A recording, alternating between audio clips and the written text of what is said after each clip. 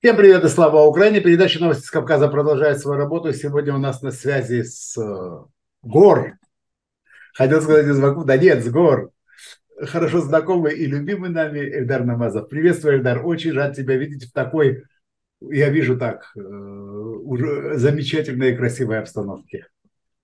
Воздух, наверное, Спасибо, тоже... дорогой, спасибо за приглашение. Э, я приветствую всех наших зрителей да, э, Гел абсолютно прав, я сейчас в горах.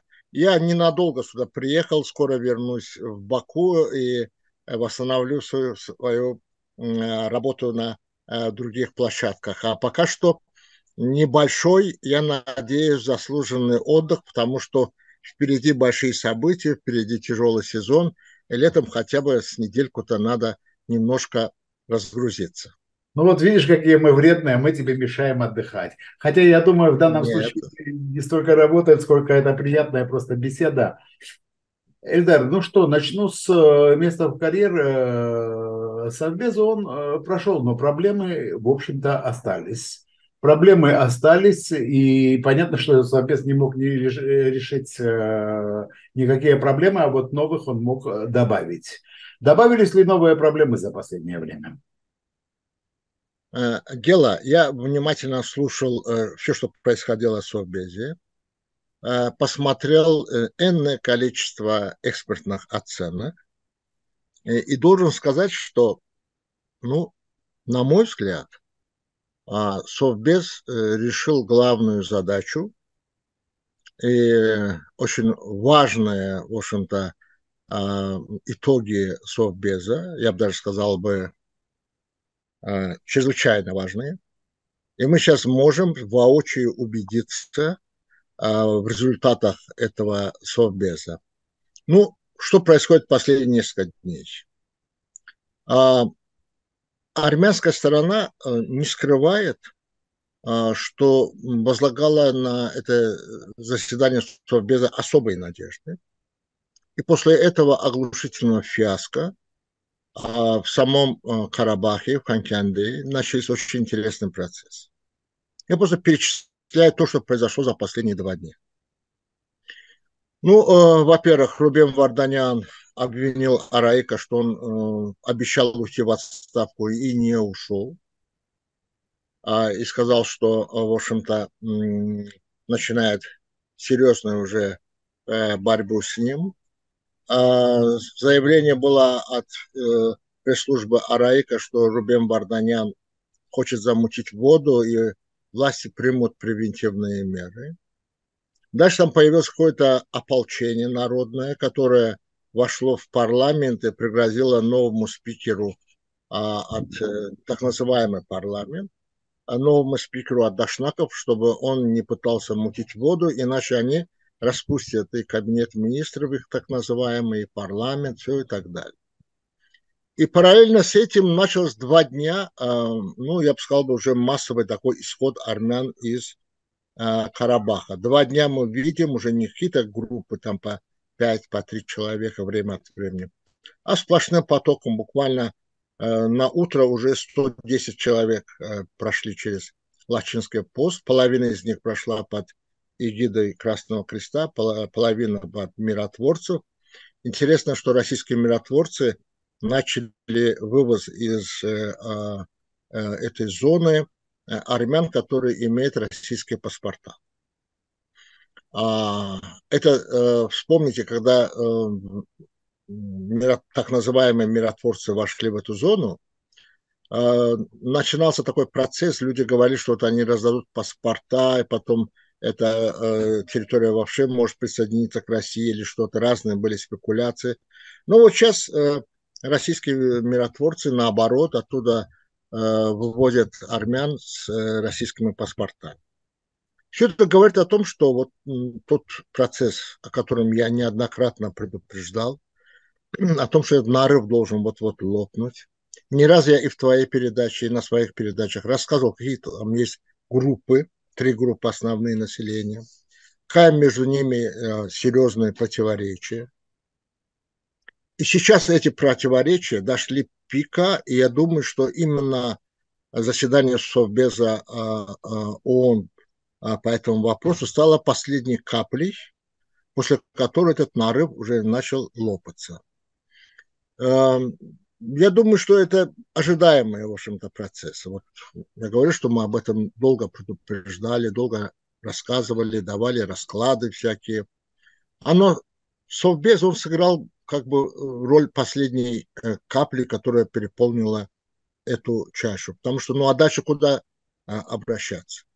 Мне, конечно, армяне, э, армянская сторона очень богата на фантазии, на выдумки. Они могли бы придумать какой-то Совет безопасности Солнечной системы, но для того, чтобы туда обратиться, надо, во-первых, убедиться, что есть неземная жизнь, и из кого она состоит, и какие у них есть свои там координирующие органы, и каков порядок э, обращения к ним за а, а, помощью. Но так как это все слишком длительная перспектива, а люди живут сейчас, хотели бы э, а, определиться сейчас, я думаю, что Совбез ООН помог уже определиться и многим политическим силам, и гражданам э, по двум важным вопросам. Первое, э, Карабах – это территория Азербайджана. Это никем не оспаривается, даже самой Армении. И международное право, и э, сила на стороне Азербайджана. И поэтому-то а, вот это э, заседание сыграло роль спускового крючка. И вот утром уже армянская пресса пишет, что на закрытых совещаниях в Карабахе армянские сепаратисты уже объявили, что они частично деблокируют Агдамскую дорогу. Она начнет функционировать. И параллельно с этим начался вот такой массовый исход.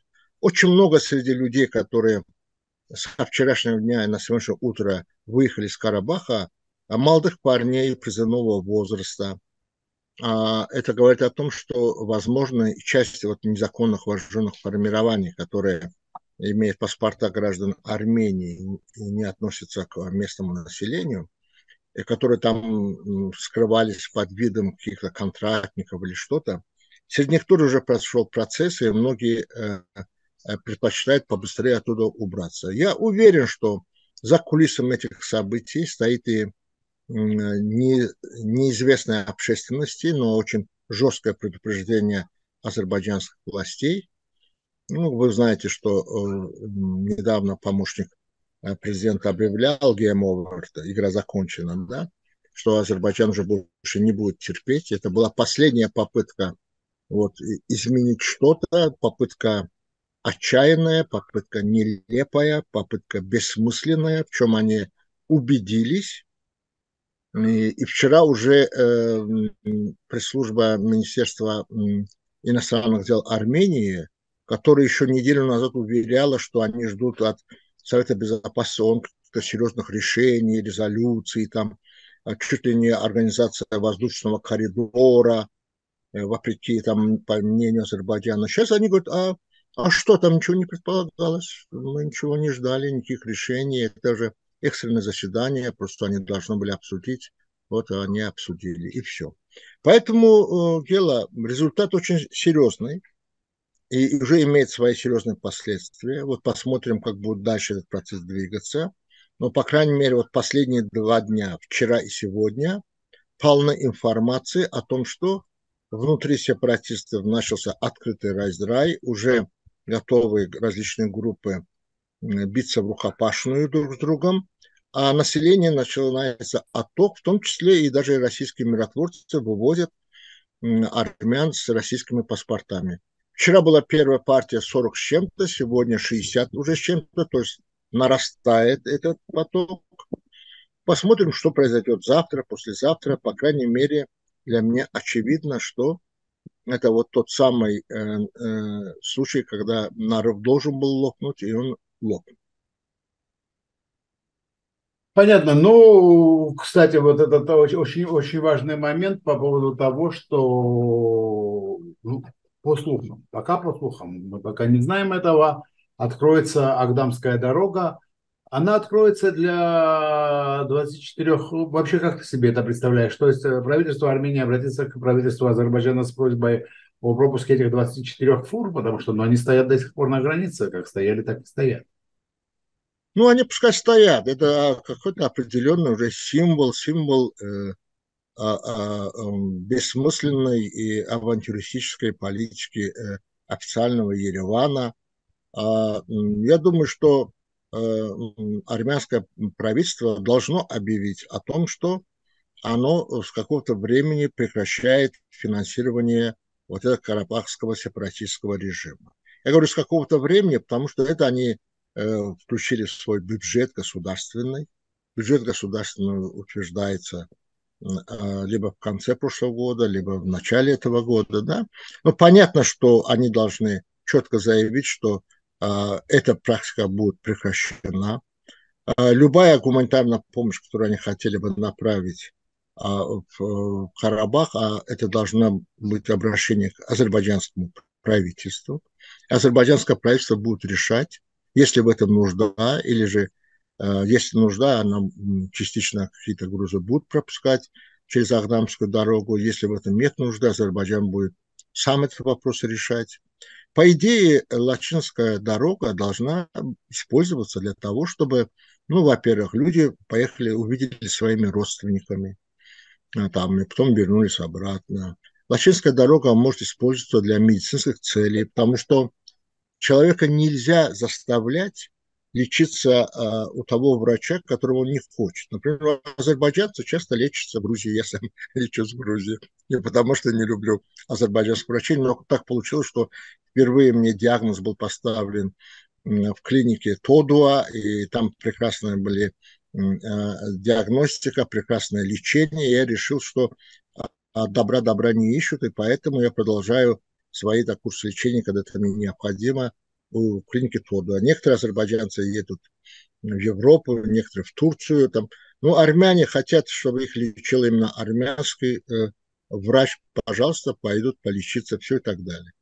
Э, вот такие чисто гуманитарные вещи. А то, что касается поставки товары, там, я не знаю, что-то, что-то, я думаю, большая часть всего этого будет проходить по Ахдамской дороге и по некоторым другим дорогам, которые тоже будут использоваться. Но это часть процесса. Это часть процесса даже как символ, потому что а, понятно, что уже игра в этот всякие миоцумы, в самоопределение, все этому а, а, положен конец, и жители Ханчанды должны, в общем-то, определиться, кто хочет остаться жить в Азербайджане. Вот я думаю, часть тех, которые со вчерашнего дня выехали, уже за два дня больше ста человек, и этот поток, посмотрим, пока что только увеличивается. Часть из них те, которые просто решили, что, ну, это раз э, будет уже территория Азербайджана де-факто, не только де-юре, да, я предпочитаю там переселиться в Армению или куда-то. Это естественный процесс. Из Армении уехали э, миллионы людей в другие страны. Из Азербайджана тоже миллионы людей переселились после э, того, как Азербайджан стал независимым. И никто перед собой цели не ставит, что вообще до одного армяне, которые сейчас проживают на этой территории, они должны там проживать. Уже там проживает меньше половины того населения, которое раньше было.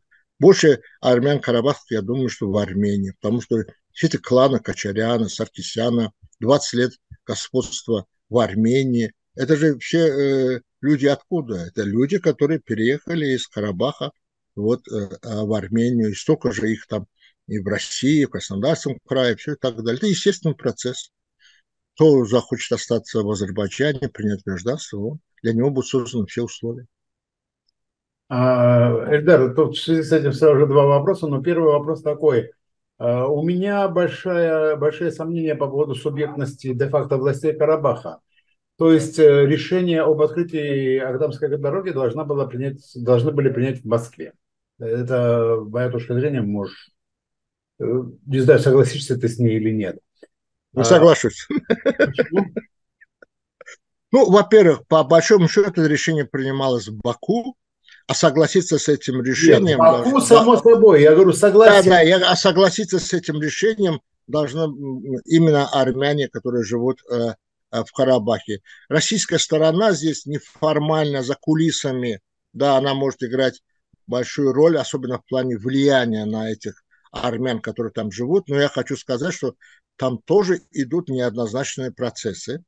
И вообще э, э, насчет российских миротворцев это отдельная интересная тема, которая там есть несколько аспектов важных, которые можно обсудить. Но что касается самих армян, то там интересный процесс э, дела. Там неожиданно вот, так называемым спикером парламента избрали представителя Дашнавской партии, которая не имеет никакого большинства, это меньшинство в так называемом парламенте этого сепаратистского режима. Естественно, раз это меньшинство, значит, его избрали с подачи большинства фракций. Это как раз таки на тот случай, если процесс уже пойдет в окончательную фазу, именно тогда-то, я думаю, э, люди типа Раих думали, что отказаться от уйти с поста и автоматически э, во главе этого тонущего корабля оказываются дашнаки, и потом э, всю жизнь кого они будут проклинать, при какой власти э, сепаратизм окончательно умер в Карабахе, был у власти Дашнак. Я думаю, что именно с этой целью-то его и подвели на эту ступеньку, но его пока там держат, пока что они сами стараются рулить. Э, но вот такой очень показательный именно для, для э, того процесса, который я говорю, что нарыв должен был взорваться. Да, вот сейчас там начинаются такие хаотические, все против всех, одни угрожают силой другим, другие угрожают силой этим. Но этим должно было кончиться, это должно было кончиться битвой тараканов в банке, э, а, потому что другого исхода при нынешнем раскладе сил у них просто нет. Тараканы и пауки в банке, э, в банке, в банке, э, это понятно. Но смотри, э, тут я... Давай немножко поспорим. Без отмашки Москвы вот эти де-факто власти, которые там, могли ли сказать, что да, мы согласны? Они еще не сказали этого, давай прямо сказать, они еще не сказали, но мы сейчас мы же обсуждаем теоретическое, то, то о чем уже, уже написали, уже сказали.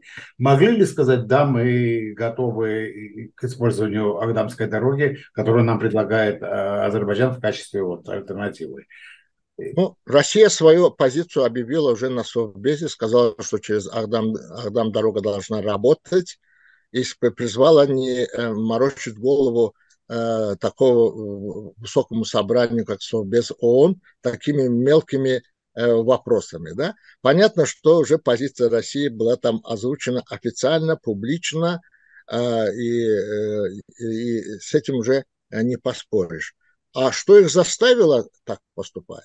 Я думаю, что российское миротворчество тоже переживает кризис. Да?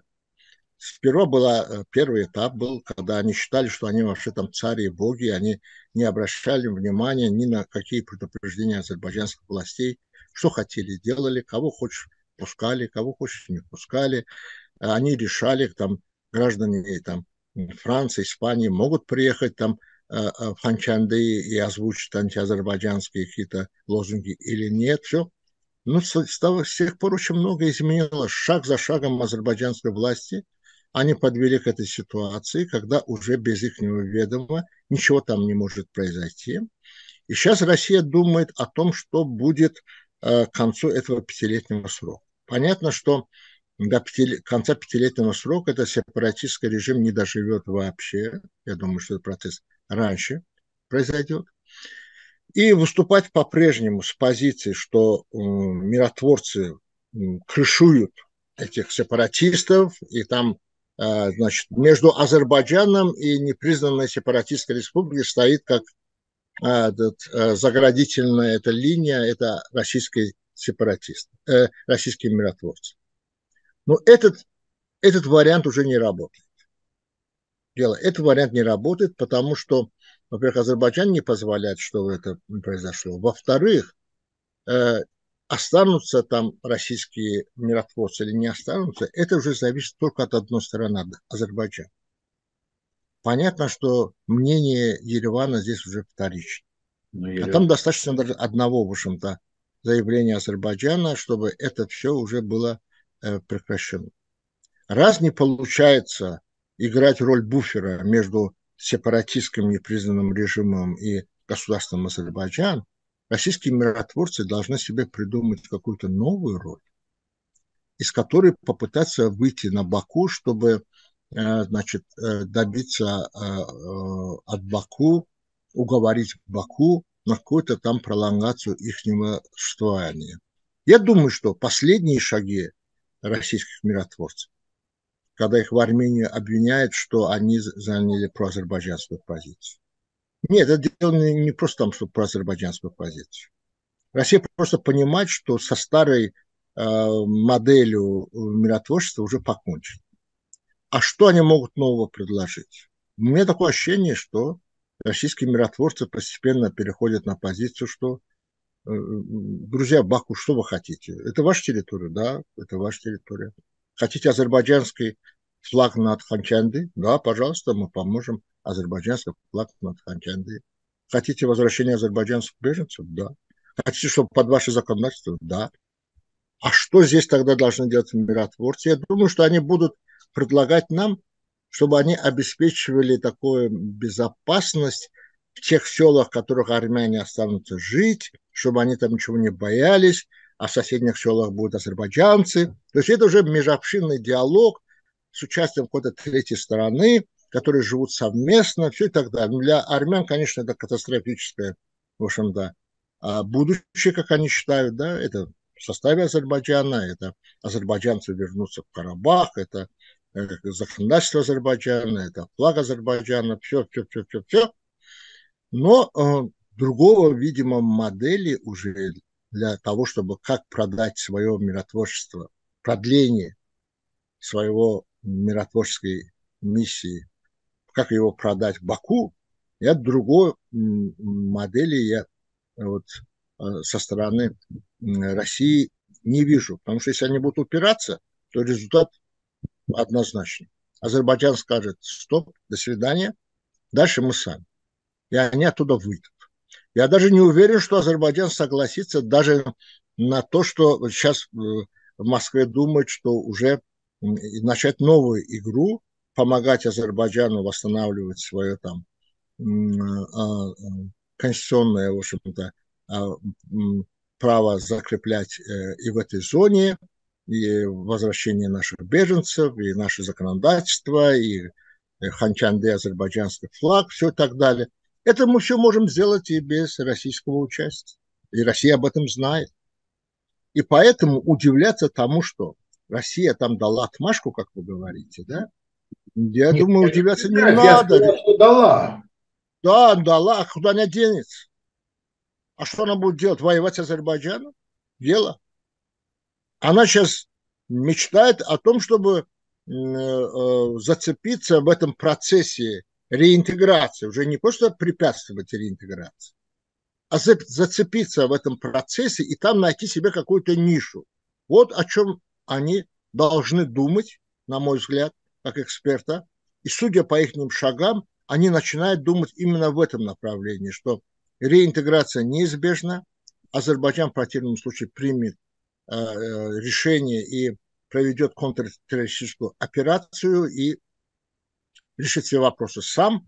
Поэтому-то нужно, если процесс не можешь предотвратить, в него постараться клиниться и там найти какое-то свое место. И они сейчас ищут свое место э, в процессе реинтеграции э, армян в азербайджанское общество.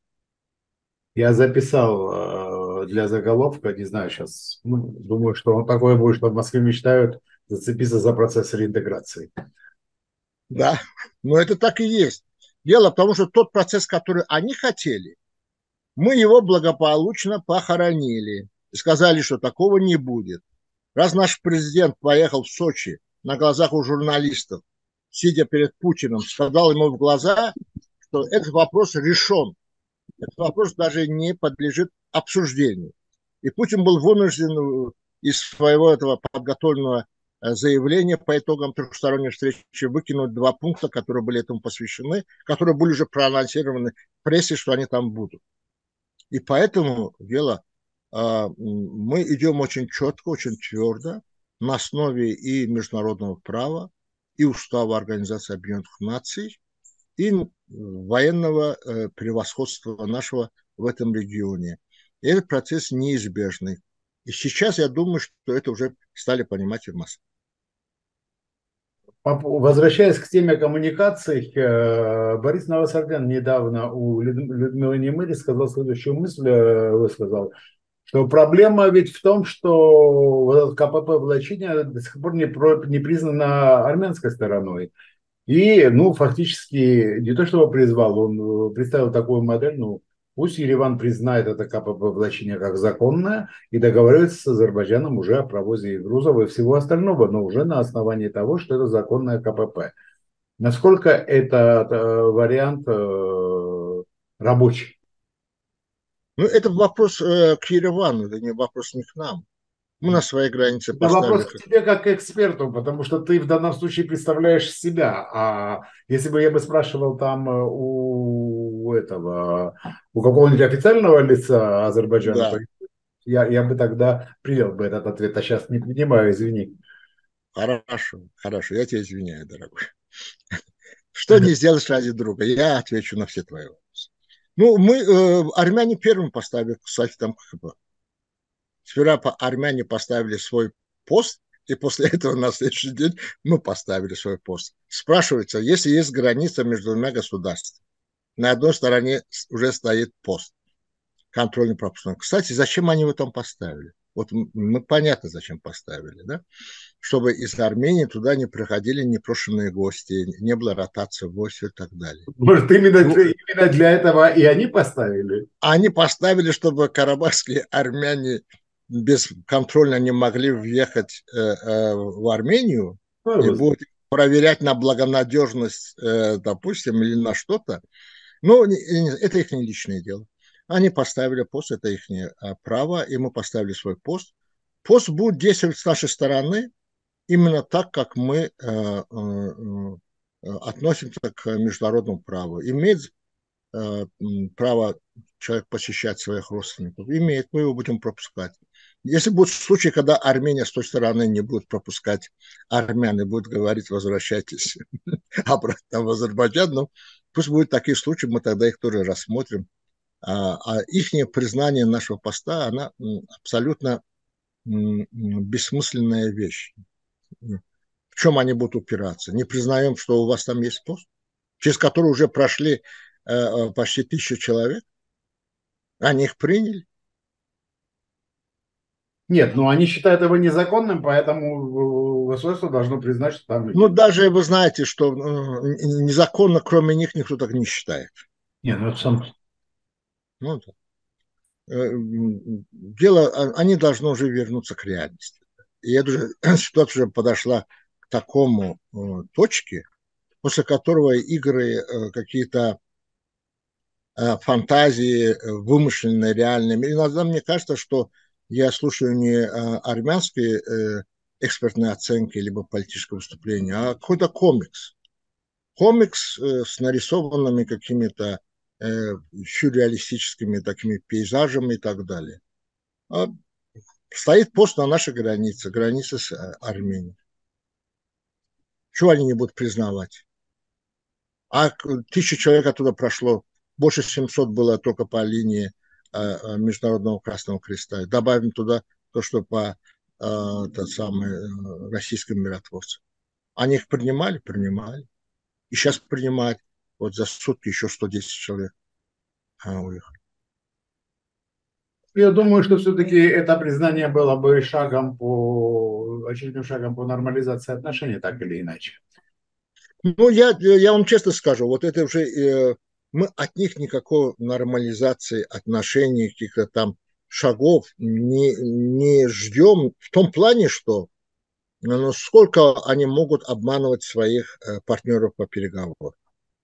Азербайджан обманывали неоднократно. С первого дня, когда Никол Пашинян пришел к власти, и он, э, наш президент об этом говорил, он попросил время для того, чтобы там устаканилось у них все и так далее. Ну, дали им время, у них было достаточно времени. Чем это кончилось? Поездка его э, Шушу объявление, что Карабах – это Армения, точка. И потом во время переговоров. Сколько раз э, в Брюсселе, в Вашингтоне были даны обещания, и были даже сроки названы. Еще в конце прошлого года была возможность подписать мирный договор и так далее. Каждый раз они дают слово, а потом убегают. Поэтому Азербайджан просто де-факто реализует на практике и в реальной жизни свои суверенные права, которые подтверждены э, уставом ООН. И когда они э, это признают, завтра или через год, или через пять лет, это же факт из их биографии. Слушай, ну так или иначе-то выстраивать отношения нужно, ведь э, войну-то Азербайджан военное действие выиграл, э, надо же еще и мир выигрывать, так ведь? Ну, мы мир выигрываем и, так, и, и таким образом дело, они другого выхода нам не оставляют.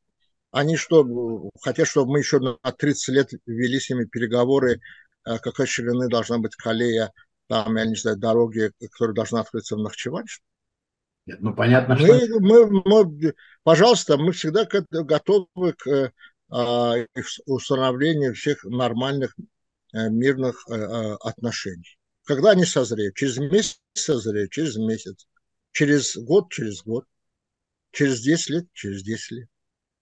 Вот и ты, и до этого с Расимом был разговор об этом, что острый дефицит доверия, потому что как раз-таки перед э, нашей передачей была передача с э, Романом Багдасаряном, где я сказал простую вещь, э, нескромно себя цитировать, я сказал очень простую вещь. Что такое доверие между Арменией и Азербайджаном? На самом деле, ну, нет таких субъектов Армения и Азербайджан. Есть люди конкретные.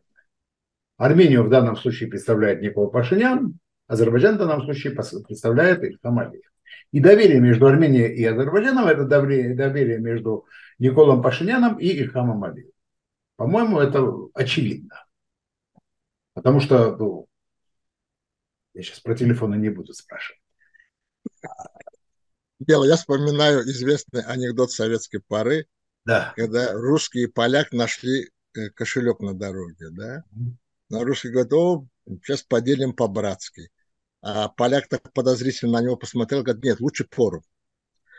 Поэтому это доверие, да, это, нам не нужно это доверие, нам нужно поровну, то есть зеркальное, то есть международное право, то есть межгосударственные отношения.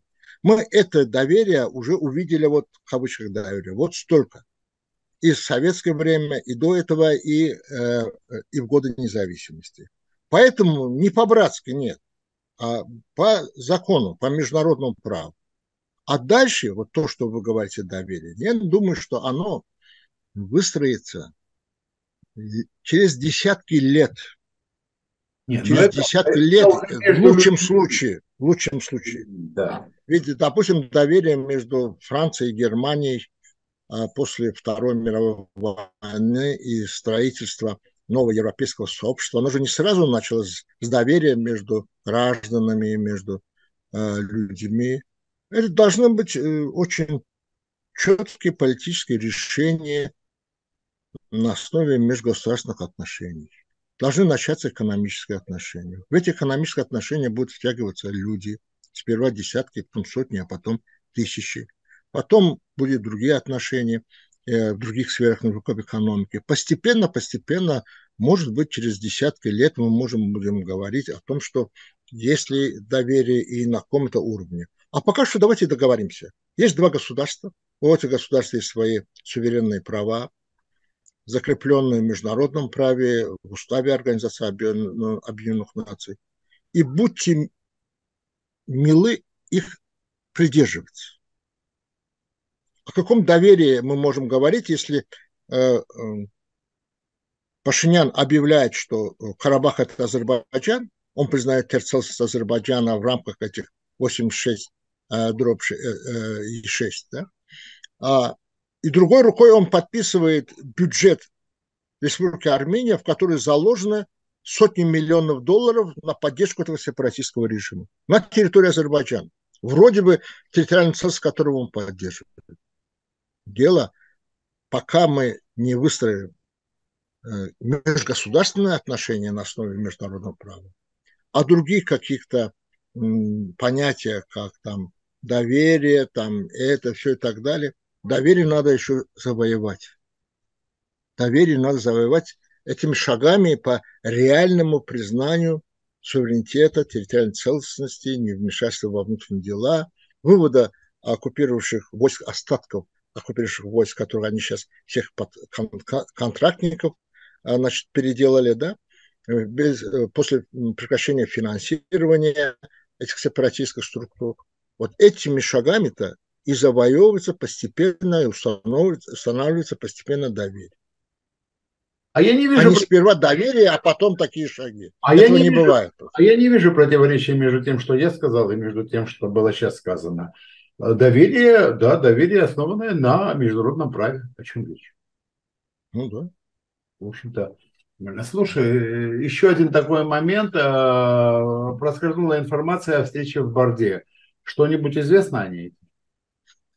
Да, армянская сторона э, этот, эту информацию озвучила, э, и она озвучила как раз таки информацию о том, что Ахдамская дорога деблоки... деблокирована будет, как они говорят, частично, да, вот, но я не знаю, что они под этим подразумевают частично, но главное, чтобы она начала работать. И второе, там вот эта встреча, которая планировалась в Евлахе, там сейчас разговор о том, что она будет в Барде. Ну, нам все равно, Евлах, Барда, все наши территории, Хантинды наши территории, Евлах и Барда.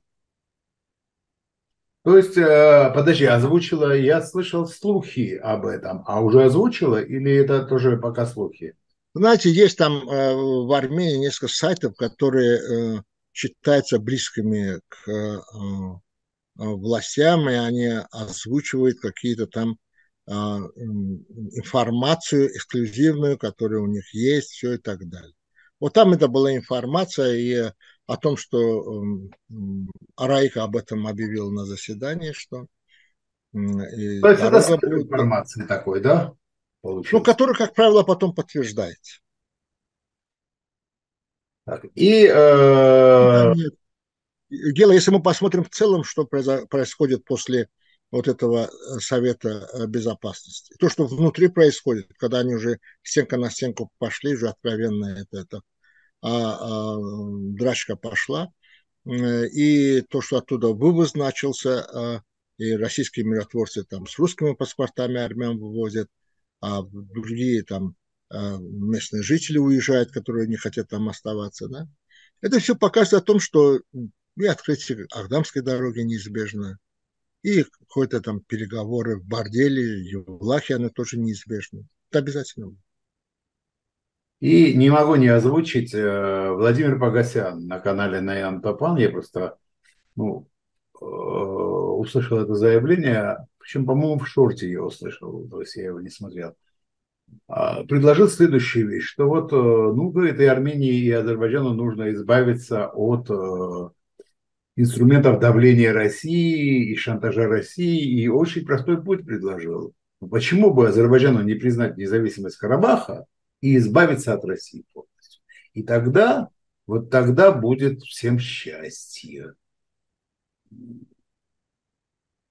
Я сказал Ой, то, что я не знаю. Ой, я не знаю. Ты меня, конечно, э, развеселил вот этим э, цитатой. Я вспоминаю очень э, интересную историю, я о ней мало рассказывал, может, когда-нибудь она подробно рассказать. Но э, я был молодым экспертом еще. Ну, меня знали в Москве, там, в Советском Союзе, потому что я там в Москве работал, э, в институте, который занимался национальными проблемами. Э, ну, приехала делегация во главе с, э, с Андреем Сахаровым, академиком, в Баку, Вирево. Его сопровождала целая группа и его супруга э, Алиханян, и там эксперты, 3-4 эксперта, э, не буду называть фамилии, говорю, подробно я как-то другой раз расскажу. И они, когда прилетели в Баку, сперва Баку, потом Ерева, они из Москвы у своих экспертов спросили, до встречи в Баку с общественностью, с руководством республики, с кем нам посоветовать, если там какой-то грамотный эксперт. И те почему-то назвали мою фамилию. Слушай, почему-то хватит скромничать. Они пригласили, они позвонили меня, пригласили на встречу с ним. Это происходило в гостинице «Старый интурист». Пригласили, по-моему, на 5 или на 6 часов, они прилетели вечером. И наш разговор затянулся до 12 в ночи. Баку был комендантский час. И Андрей Сахаров попросил руководство этого интуриста, чтобы мне выделили комнату, чтобы я до утра остался там, потому что меня военный патруль мог бы тогда и арестовать, потому что я комендантский час вышел бы из этой гостиницы. Там был интересный эпизод. Когда я предъявил претензии к Андрею Сахарову насчет того, что, про, про армянских его заявлений, самое интересное было, что он признал свою неправоту. Более того, его супруга Алиханя, она вмешалась в разговор, сказала, это я виноват. Я от своих родственников в Баку и в Карабахе получал информацию и не перепроверил. Звонила, говорила об этом Андрею, а Андрей зарубежной поездки брал это все и говорил на весь мир, там через радиостанцию «Свобода» или «Голос Америки» что-то. А потом мы выясняли, что там, оказывается, это, говорит, моя ответственность. И так, потом она мне, знаете, что сказала? В присутствии всех. Она мне говорит, а вы знаете, вот как бы было благородно со стороны Азербайджана вот сказать, вот берите Карабах, он ваш. Вы знаете, как вас зауважали бы во всем мире? Я говорю, ну армяне тоже уважаемая нация. Она тоже могла бы это сказать, Карабах это азербайджанское, знаете, армян тоже стали бы очень сильно уважать. Она обиделась и отвернулась от него. Прошло 30 лет, где-то Погосян опять повторяет вот эти вещи, что Азербайджан вдруг возьмет и откажется. Ну, он, конечно, шутил, а то, что я разговариваю, рассказываю вам о э, истории вот с этим, с приездом Сахарова, это абсолютно правда. Там было очень много интересных подробностей. Я как-нибудь обязательно э, расскажу более подробно о том, какой там был разговор, потому что он имел очень важное значение знаете важное значение. Очень многие процессы потом начались именно после приезда Андрея Сахарова в Баку и Вирево. Я скажу, вот, да, что так, для, для, для интриги скажу, чтобы это, у тебя нельзя, передача это, была. Это, Хорошо, для интриги скажу в твоей передаче. Аз, азербайджанцев выдавливали из Армении группами, группами постепенно. Вот процесс приобрел тотальный характер – и в него включились все государственные органы Армении. После того, как Сахаров приехал с этой миссией в Баку, в Ереван, и объявил, что он нашел выход симметричный, который обе стороны может удовлетворить. Давайте проведем референдум среди армян в Азербайджане и референдум среди азербайджанцев в Армении. И как они проголосуют, вот эти территории будут обменены. Об, обменены. То есть он предложил, он сказал, что право на самоопределение имеет не только армяне, живущие в Азербайджане, но и азербайджанцы, живущие в Армении.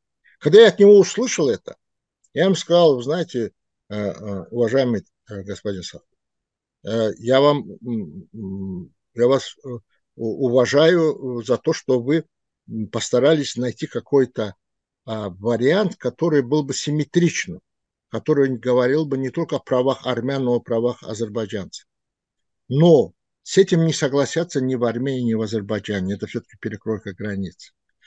И он поехал в Армению, об этом объявил, что я Горбачеву уже доложил. Мое э, предложение Горбачева заключается в том, чтобы был референдум и в Армении, и в Азербайджане. И Горбачев сказал, поезжайте и поговорите с этим э, и в Баку, в Ереване. Да? Когда армяне от него это услышали, буквально через неделю началась тотальная депортация всех азербайджанцев из Армении. В нем уже принимали участие не какие-то бородачи, там, неформальные там, боевые группы. В них принимали участие, участие полиция, прокуратура, э, партийные органы, советские органы. И они буквально за несколько месяцев полностью депортировали всех азербайджанцев из Армении. Потому что они испугались, что азербайджанцам тоже могут дать право на самоопределение и провести референдум э, в самой Армении тоже. Для того, чтобы этого не допустить, вот они тотальную такую депортацию азербайджанцев устроили. Сколько человек там погибло, сколько людей умерло. А потом, когда эти же разбирательства пошли, там были наказаны, для проформы наказали. Но что показательно? Кому, кто был не наказаны? Первый секретарь прокуроры, начальники полиции, то есть все, кто непосредственно, весь госаппарат Армении непосредственно принимал участие в депортации азербайджанцев из Армении. Не какие-то там неформальные группы, там комитет Карабах или что-то, да. И это было э, ответом армянской стороны на предложение Андрея Сахарова провести референдум и в Армении, и в Азербайджане. И не просто предложение было, оно было согласовано, как Сахаров говорит, что я об этом уже доложил Горбачеву. Он сказал, что они против, поезжайте в Баку, в Ереван. Я думаю, Горбачев понимал, что из этого ничего не выйдет. Но то, что такая, говорят, благими намерениями э, вымощена дорога в ад. То, что благие намерения этого а, академика Сахарова привели к тому, что тотальная была депортация всех азербайджанцев из Армении.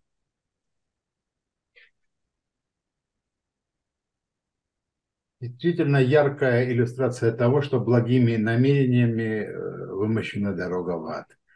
Действительно яркая иллюстрация того, что Сахаров был очень моральным человеком, несомненно. В морали Сахарова я не сомневаюсь. Я он... тоже, кстати говоря, я был удивлен, я его поблагодарил, когда он признал свою неправоту, и даже Алиханян взял на себя всю эту вину, что я его дезинформировал, и он делал такие заявления, да, но и потом он предложил, что давайте, если референдум, но не только среди армян, которые живут в Карабахе, но и среди азербайджанцев, которые живут в Армении. Но он был большим ребенком в политике. Он, э, да. был...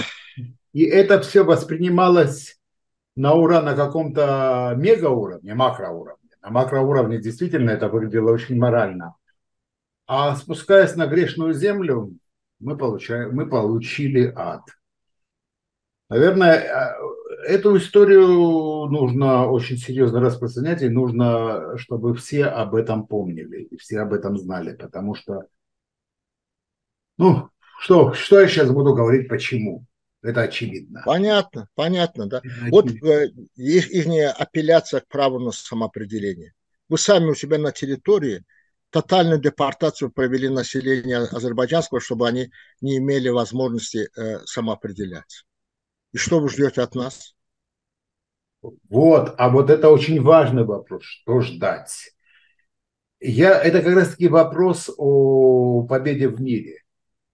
Ведь э, сейчас э, очень, очень важный вопрос даже не в том, что это важен вопрос, какие будут отношения сугубо деловые, без, э, если я, я бы вообще, если бы была бы возможность, если бы была бы моя бы воля, и если бы это было бы вообще физически возможно, я бы исключил бы эмоциональную составляющую между отношениями между двумя народами. Но такое невозможно. Такое, к сожалению, невозможно. Нет, для политиков это возможно и нужно, и необходимо. Политики принимать должны решения э, без э, э, каких-то эмоциональных таких дополнительных фонов.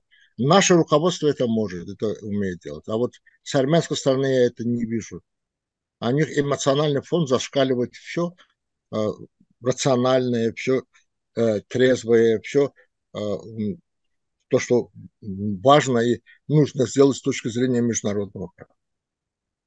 Очень. Э, я же не случайно привел, я же не для того, чтобы пошутить, привел э, то, что сказал Владимир Погасян. Ведь ключевая фраза тут не в том предоставить независимость Карабаху или там не предоставлять и так далее. Ключевая фраза была для того, чтобы избавиться от шантажа, для того, чтобы избавиться от влияния России. И если уж Погасян, Владимир, об этом говорит, то это означает, что это действительно задача, которая э, стала актуальной. Но самый... Нет, нет, Гела, позволь иногда мне тоже с тобой спорить. Конечно. Вот если бы он озвучил бы, что отдавайте Карабах отдадим Азербайджану, чтобы избавиться вообще от э, российского влияния. Тогда бы он Тогда бы я сказал бы, да, это для них стало актуально. бы он... Но он же так не говорит. Им, э, он не у власти, кстати, так что тут можно быть спокойными. Но я бы сказал так, что самый простой путь э, для того, чтобы избавиться от шантажа России, это поддержка Украины. И вот тут у нас осталось немного времени, но я бы хотел бы в двух словах сказать, э, поговорить с тобой об этом. Позиция Азербайджана по, отнош... Азербайджана по отношению к э, Украине и к тому, что там происходит. Такой небольшой, э, краткий бриф, если можно. Ну, если коротко, С первого дня независимости Азербайджана и Украины, распада Советского Союза, мы поддерживали друг друга, Азербайджан, Украина, Грузия, а, особенно вот эта тройка. Ну, еще Молдову можно назвать, другие, но у нас можно десятки эпизодов вспомнить, как а, а, Украина защищала Азербайджан. Или Азербайджан защищал Украину. В вашей, по-моему, передаче это звучало, когда на первом собрании вот, э, в Алмате, когда Алматинская декларация принималась, Ельцин не хотел, чтобы туда приехала Азербайджан и Грузия, потому что насчет целостности Азербайджана и Грузии у них были другие планы. Они хотели раздербанить и Грузию, и Азербайджан, да? И поэтому под надуманным предлогом, что там конфликты есть, все, ну, у Армении с нами конфликт, а Армению туда Ельцин пригласил. Ну, там, я не знаю, в Таджикистане война гражданская, он пригласил. С Молдовой тоже конфликт Приднестровья, но он пригласил. А Азербайджан и Грузию нельзя. Вот тогда мы были приглашены туда. Об этом часто рассказывал Расим Мусабеков, который, он сам был личным участником этого процесса, был в нашей делегации. Когда Ельцин увидел азербайджанскую делегацию, он спросил, кто их пригласил на этот форум. Президент Украины Леонид Кравчук сказал, Украина пригласила. И наши границы там были подтверждены, мы бы подписали эту декларацию. Сейчас Армения вынуждена, ссылаясь именно на эту декларацию, принимать нашу территориальную целостность. Я к чему веду? Да, а, Азербайджан полностью поддерживает Украину. Мы это показываем, ну, не скрываемся. Мы оказываем гуманитарную помощь. Мы помогаем им с электрооборудованием, чтобы э, поврежденные во время бомбежек а, объекты энергетической сферы были быстро восстановлены. Когда Каховскую ГЭС развали, мы помогали насосами, там, трубами для выкачивания воды. Мы э, у себя проводим реабилитацию детей, пострадавших в этой войне. Украинские дети приезжают к нам, и лучше психологами занимаются, они отдыхают в лучших курортах, они едут по всей стране, для них специальные программы. Ну, сейчас машинами для разминирования помогаем. Дело, представь себе, для нас самих это огромная проблема. Уже свыше 300, если я не ошибаюсь, мирных граждан погибли после войны, взорвавшихся на этих минах. Нам нужна самым огромная поддержка, дополнительная поддержка и оборудованием, и машинами для разминирования. Да? Но учитывая, в каком состоянии находится сейчас Украина, мы делимся своей частью оборудования и будем проводить для них тренинги, чтобы они им могли пользоваться для разминирования. Это наша официальная позиция. Президент Украины неоднократно выражал нам свою благодарность. На последнем саммите европейском в Молдове он именно с президентом Азербайджана встретился. Большая была беседа, опять выразил свою благодарность. Это наша позиция, мы друзей никогда в беде не бросаем, всегда им помогаем. Нравится это Москве, не нравится Москве, это их личное дело. Я обычно в таких случаях дело привожу такой пример. Мы строим союзнические отношения, не союзнические отношения, военно-политический союз с Турцией. И очень глубокие стратегические союзнические отношения с Израилем. А между ними было десятилетие вражды. Они даже отозвали свои посольства.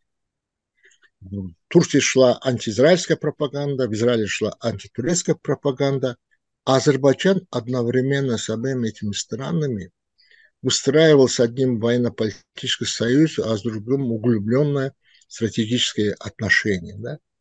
И в Анкаре, и Тель-Авиве прекрасно понимали, что это интерес Азербайджана, поэтому спокойно с этим соглашались, сказали, да, ну, у нас с Анкарой или у с Израилем, э, с Тель-Авивом э, холодные отношения, но мы оба хотим дружить с Азербайджаном, Азербайджан с нами дружит и развивает тесные отношения. Вот поэтому то, что наше отношение к Украине, это отношение с первого дня независимости. Их отношение к нам такое же, то же самое. И поэтому тут по-моему, ничего нет ни удивительного, и никто не имеет права в это вмешиваться и ставить нам какие-то условия. Вот Иран пробовал нам ставить условия, чтобы мы ограничили стратегические отношения с Израилем. Ну и что? Грозили, подводили войска к границе, проводили там военные маневры, что пересекут, форсируют реку Араз и стирут Азербайджан с лица земли. Азербайджан что испугался? Что Азербайджан наступил? Азербайджан свою армию вывел и провел свои маневры вместе с турецкой армией. Как форсировать Араз в обратном направлении. И мы им сказали, не вмешивайтесь в наши дела, и мы сами определяем свою внешнюю политику. Вот пример был, конечно же, э, занятный, но я думаю, что все-таки он некорректный. Ни, Азер... ни Израиль, ни, э, как это может быть некоторым зрителям не покажется странным, Турция никогда не вмешивались, не будут вмешиваться во внутреннюю политику и вообще в политику Азербайджана. А вот Москва на раз, два, три. В этом разница. В этом разница. Ни Израиль, ни Турция не представляют угрозы национальной безопасности и самому существованию Азербайджана. А вот Москва представляет самую главную угрозу. Поэтому, может быть, не совсем корректный пример. Я с тобой не соглашусь, э, Гела, потому что ты объединил э, внутреннюю и внешнюю политику вмешательств. Конечно, Израиль и Турция во внутреннюю политику Азербайджана не вмешиваются. Но если бы мы сейчас стали бы строить какие-то особые отношения с Ираном, обмениваться с ними военными технологиями, дружить, я думаю, у Израиля возникло бы очень много вопросов, и они нас не, не стали бы давить, но просто а, а, это обрушило бы э, все наши особые отношения с Израилем. В плане внешней политики очень часто это влияет. Вот ты с кем дружишь и как дружишь. Это, это влияет. Если уже в общем брать и внутреннюю политику добавлять, то политики. Нет, это оказывает э, серьезное влияние отношений с одним государством на отношения с другими. А что касается угрозы российской, да, это мы же все прекрасно понимаем, Азербайджан и Грузия, это, это те страны, которым не надо объяснять, какую угрозу представляет для нашего региона и для наших стран великодержавный российский шовинизм, имперский э, шовинизм. Это мы прекрасно понимаем. Ну, то и все дело. Поэтому я же говорю, что разница, разница, конечно же, э, все-таки большая. Россия – это экзистенциальная угроза самому существованию Азербайджана. До сих пор. И пока они будут в том виде, в котором они есть, они будут угрозой. Ровно так же, как и для всех нас. Вот на этой... Ну, да. Но дело, позволь мне в конце тогда иронично заметить. Мне кажется, что в Баку это лучше понимать, чем в Тбилиси. Да нет, в Тбилиси это тоже прекрасно понимаю. Другое дело, что в Тбилиси... Нет, ты так уговариваешь меня э, знать... Э, нет, я не уговариваю тебя. Мне кажется, что... Эльдар, в данном случае просто был пример Израиля и Турции. Я думаю, что Израиль и Турцию сравнивать с Россией все-таки не стоит. Это разные, ну да, ну да. разные страны и э, качественно разные. То есть. И вот на этой оптимистической ноте, что кроме России в мире еще и существуют другие страны, очень интересные, э, позволь мне закруглить нашу беседу и сказать тебе огромное спасибо от имени всех наших зрителей что ты оторвался от отдыха, заслуженного, подчеркиваю, заслуженного отдыха, и уделил нам время. Но с другой стороны, когда ты работаешь, тебя выдернуть трудно, а на отдыхе легче. Да. Спасибо, Кела, большое за приглашение. Я на самом деле приехал сюда и первым делом сел за работу и там кое-что написал, послал. У меня, в общем-то, условный отдых. Просто прекрасный воздух, прекрасная природа. Это Исмаилинский район Азербайджана. Я люблю именно здесь отдыхать, хотя у нас много других хороших горных курортов и на севере, и на, э, на юге. У нас тоже много хороших горных курортов, поэтому э, на следующий год давай к нам. Вместе отдохнем. С удовольствием. Да. С удовольствием. Огромное спасибо еще раз. Большое спасибо, дорогие друзья, что были сегодня с нами. Всего доброго и до новых встреч.